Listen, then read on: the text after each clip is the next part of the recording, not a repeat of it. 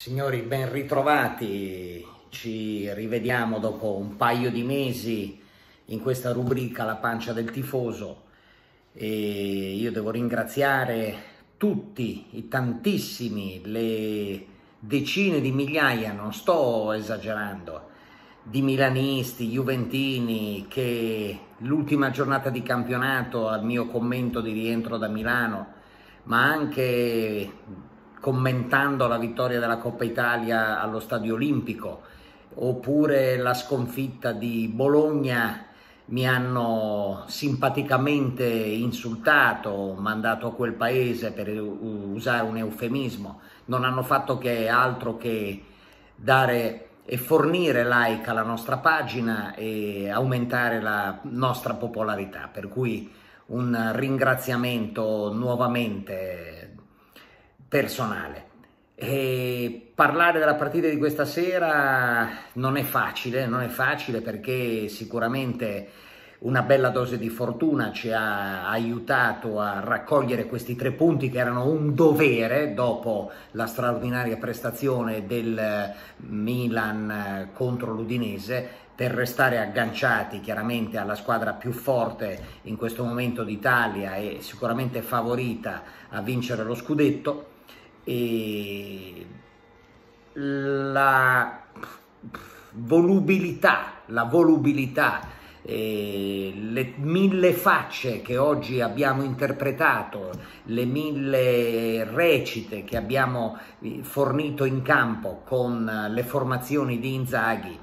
eh, premiano alla fine il coraggio di Simoncello, ritorno a battezzarlo così anche questo campionato, che eh, ha avuto la sfrontatezza alla fine addirittura di giocare con un 4-2-4 che è solamente, mi ricordo, di muriniana memoria quando doveva raddrizzare le partite, doveva andare anche a, a vincerle, schierava quattro attaccanti, quindi è stato molto volubile Simoncello, partirei da questo, poi ad andare ad analizzare una partita, sì, che abbiamo portato a casa, abbiamo creato tantissime occasioni, abbiamo trovato un portiere fenomenale, Falcone, eh, l'arbitro ci ha messo del suo, se ci fate caso, adesso sì dai, cominciamo, eh, c'era un rigore su Geco eh, e poi chiaramente non ha mai, mai dato la regola del vantaggio avevamo subito dei falli, potevamo ripartire e questo fischiava continuamente per darci le punizioni. Forse da rimandare a Coverciano o dove cavolo fanno i corsi per eh, gli arbitri dell'AIAC e, e, rivedere un po' di regole, insomma. E male, molto male, passiamo a eh, in, giudicare i singoli, molto male Gossens, eh, veramente una eh, speriamo che si riprenda perché non possiamo affrontare un campionato, una Champions League con un giocatore così, molto meglio quando è entrato Bastoni e Di Marco si è proposto come eh, quinto, però qui bisogna trovare un'alternativa sicuramente. E sul gol preso sicuramente Skriniar ha le sue eh, perplessità, ma le grosse perplessità le vedo in Andanovic, il quale non ci prova nemmeno a tentare una parata e, e esprimo molti dubbi su eh, una garanzia, una sicurezza, anche se dopo ha fatto un paio di belle parate che hanno salvato il risultato. Eh. Quindi rimandato, rimandato la partita contro lo Spezia della prossima settimana. E centrocampo un po' lento, lento in Brozovic, lento in eh, Cialanoglu, un po' meglio Barella che però ha stufato di tirare al volo così ogni volta in curva, non stoppando mai la palla, cerca vero, l'ha fatti i gol così, l'ha fatti, però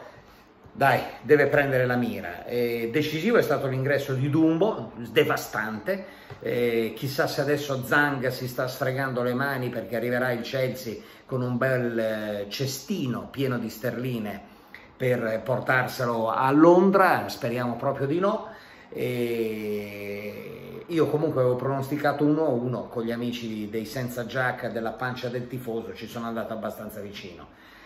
Signori, eh, ci vediamo la prossima settimana per il commento a Inter Spezia e adesso ha già cominciato l'amico Lorenzo con il Milan, quindi invito tutti coloro che seguono questo canale, ovviamente clic clic clic sul eh, canale YouTube dei Senza Giacca e mettere like sulla nostra pagina per seguire queste 38 interminabili giornate di campionato. Pensate, siamo solo alla prima e siamo stanchissimi. Eh, è vero che il 13 agosto, calcio d'agosto, eh, squadra mia non ti conosco, non ti conosco. Grazie a tutti.